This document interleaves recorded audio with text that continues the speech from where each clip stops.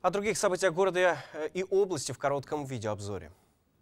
Вода в районе зонального института появится уже в это воскресенье. Такое обещание дали в Кировской теплоснабжающей компании. Сейчас ее специалисты ремонтируют сети. Во вторник на магистральной теплотрассе в районе зонального института произошел разрыв. Вода побежала в разрытую рядом траншею. В течение получаса, чтобы остановить поток, теплоснабженцы перекрыли воду. Сегодня всю ночь специалисты откачивали ее, а днем начали искать, где находится прорыв. К воскресенью подать ресурс в дома собираются по другой теплотрассе.